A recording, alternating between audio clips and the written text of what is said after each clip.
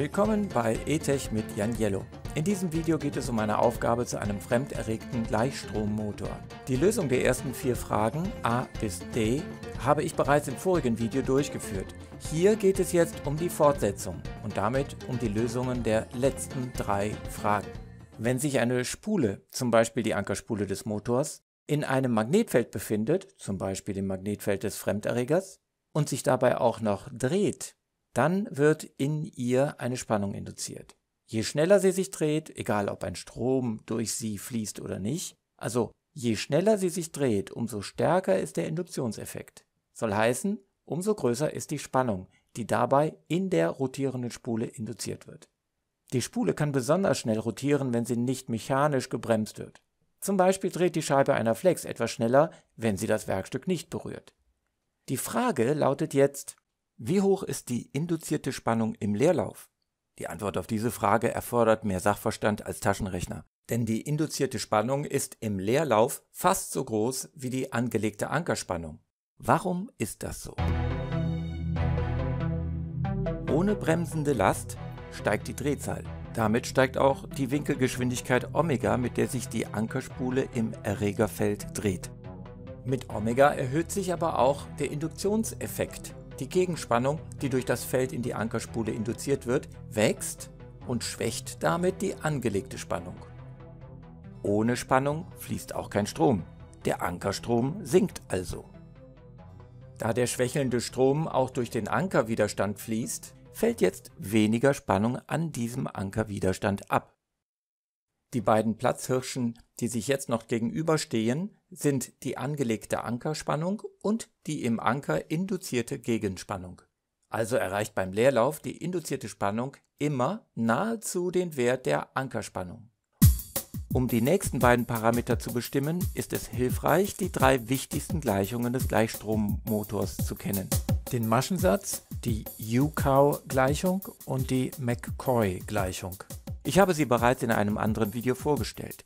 Los geht es zunächst mit der Berechnung des Produkts C, Maschinenkonstante, mal Phi, Magnetfeld, das hier von außen zugeschaltet ist.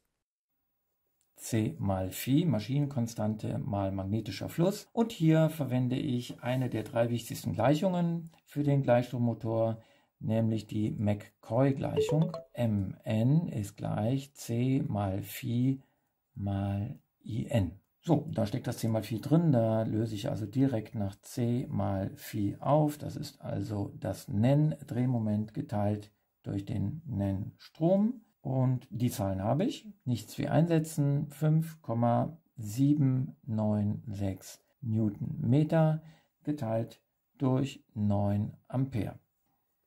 Im Taschenrechner liefert das Ganze natürlich ein Ergebnis. Ich schreibe es mal besser hier unten hin, c mal Phi ist gleich ausgerechnet 0,6366 und jetzt bei der Einheit, auch wenn es langweilig erscheint, aber ich brauche die Einheit immer, um zu wissen, ob ich auf dem richtigen Weg bin oder was völlig Falsches rechne. Jetzt steht hier oben Newton mal Meter durch Ampere. Es gibt einen Schlüssel, den sollte man sich merken, ich schreibe es extra mal auf, der vergleicht die elektrische Leistung mit der mechanischen Leistung. Die elektrische Leistung, wissen wir alle, ist Ampere mal Volt. Die mechanische Leistung ist Watt und Watt ist nichts anderes als Kraft mal Weg durch Zeit, also Newton mal Meter durch Sekunde. Wenn ich mir jetzt angucke, was da oben steht, Newton mal Meter, dann könnte ich das Newton mal Meter ja schon mal durch Ampere Volt Sekunde ersetzen. Und dann würde da oben stehen äh, Ampere Volt Sekunde und unten steht nochmal ein Ampere das kürzt sich weg, also bleibt Voltsekunde übrig. Das heißt, C mal Phi ist gleich 0,6366 Volt Sekunde. Wie hoch ist die Leerlaufdrehzahl? Die Leerlaufdrehzahl ist nicht unendlich. Warum nicht? Im Leerlauf steigt die induzierte Spannung zwar an, aber sie sägt gleichzeitig den Ast ab, auf dem sie sitzt. Soll heißen, je höher sie ist, umso mehr wirkt sie auch den Strom ab. Wenn aber kein Strom mehr durch die Ankerspulen fließt, wirkt auch keine Lorenzkraft mehr auf die Spule. Ohne Lorenzkraft kein Drehmoment. Ohne Drehmoment keine Rotation. Ohne Rotation steht die Spule still.